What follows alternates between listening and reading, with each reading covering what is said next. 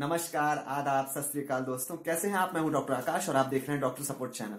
आज मैं आपसे बात करने वाला हूँ ऐसे वैन की जो कि उत्तर प्रदेश सरकार ने बहुत सारी बांटी है पूरे प्रदेश में, जो कि आपके घर घर जाके दूर दराज गाँव तक जाके आपका इलाज करेंगी। इसमें वो सारी सुविधाएँ मौजूद हैं, जो कि सबसे ज़्यादा हाईटेक है। सारी तरह की मशीनें मौजूद हैं oxygen cylinders nebulisation machine suction machine और सारे तरह के माइनर सर्जिकल प्रोसेस करने के लिए सारे इंस्ट्रूमेंट्स मौजूद हैं। तो आज मैं आपको इस वैन के अंदर का व्यू दिखाऊँगा कि अंदर ये कैसी दिखती है और इसमें क्या क्या फैसिलिटीज़ मौजूद हैं। तो चलिए वीडियो शुरू करते हैं।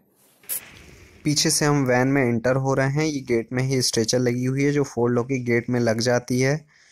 ये बहुत ही कॉम्पैक्ट तरीके से दिया है इन्होंने। ये है व्हील चेयर डिसेबल्ड लोगों के लिए। गेट में ही ये भी फोल्ड होके लग जाती है। साइड में दो फायर एक्सटिंग्विशर हैं, ये देख सकते हैं, ट्रे है, यहाँ पे सारे इंस्ट्रूमेंट रखने के लिए, साइड में काउच है पेशेंट के लिए, ये ऑटोक्लेव मशीन इंस्ट्रूमेंट को स्टरलाइज करने के लिए।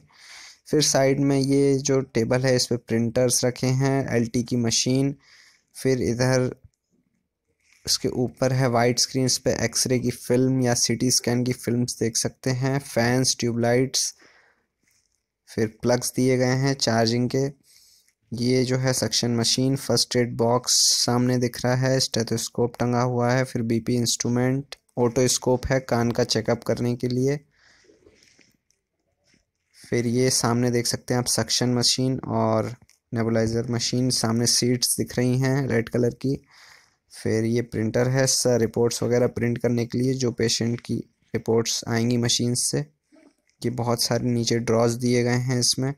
ये ऑक्सीजन सिलेंडर्स हैं। पेशेंट को ऑक्सीजन की ज़रूरत हो तो फिर हम और आगे चलेंगे। तो ये साइड में विंडो सीट्स सामने डस्टबिन्स और उसके ऊपर बेसिन वाटर प्योरीफायर फिर ये सामने ड्राइवर की सीट दिख रही है।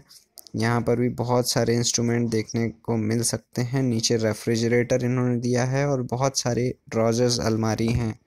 ये दो सीट्स हैं साइड में। फिर हम पीछे, यहाँ आके पूरा वैन का व्यू अंदर से देख सकते हैं। अंदर सारे मशीन्स को सपोर्ट करने के लिए इन्होंने एक साढ़े पाँच किलो वाट का जनरेटर भी लगाया हुआ है इसमें, जो कि एयर कंडीशनर और बाकी सभी मशीनों को पावर सप्लाई देने के काम में आता है।